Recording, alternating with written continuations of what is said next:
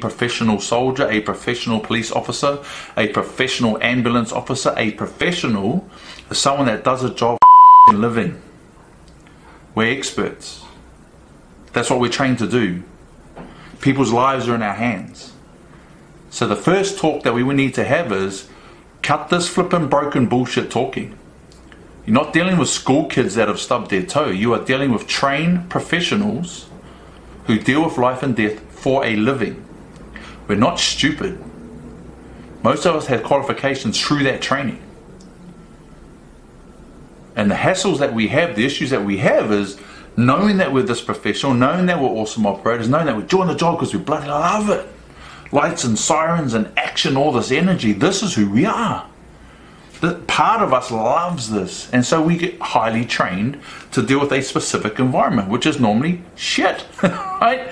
So we're trained to go into conflict and be able to operate in there. Primarily, we're reprogramming this. We're reprogramming our response to fear to go towards danger instead of away. And to run a process that is automatic and subconscious, not emotional. Yet when we get out and we start manifesting signs and symptoms of post traumatic stress, it's the feelings, it's the emotions that we can't figure out how to get control of. Well, you can't use logic to override muscle mindset. Can you? It's, just stupid to think that. But now we've got to the point where there's so many suicides and we're throwing flipping diagnoses out like candy, depression and PTSD and adjustment disorder, and we're starting to just throw a language on top of people that weren't trained in that language.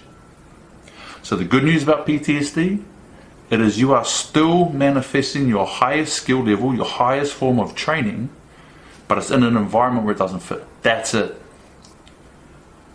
If I'm out there as a police officer and someone throws a punch and I get out of the way and but but but and they're down there in handcuffs and they're gone. Great skills, good drills. Authorized, justified, excused by law. Reasonable use of force. If I'm packing safe shopping and someone bumps into me, I go, but, but, but. It's the same skill set, it's the same training, but now it's not authorised, justified, or excused by law. But it's automatic. It's a process. So, let's deal with the process. Let's meet your subconscious bodyguards.